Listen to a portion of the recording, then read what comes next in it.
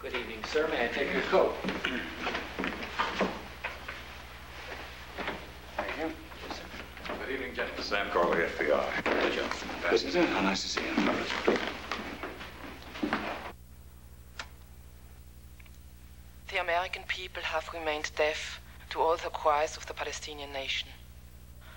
But if a foreign people took over the states of Virginia, Georgia, and New Jersey, and forced the people of those states to leave their homes and lands, would they not feel bitter and betrayed? Therefore, understand how we feel. People of America, this situation is unbearable for us. Until you understand that, and stop helping the Israelis with arms and money, we of the Black September movement will make it unbearable for you. From now on, you will share our suffering. Today's horror is nothing to what will happen unless your government acts now.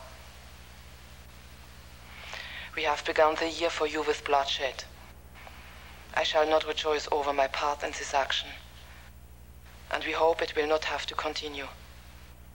We want to be your brothers. The choice is yours. Salam alaikum.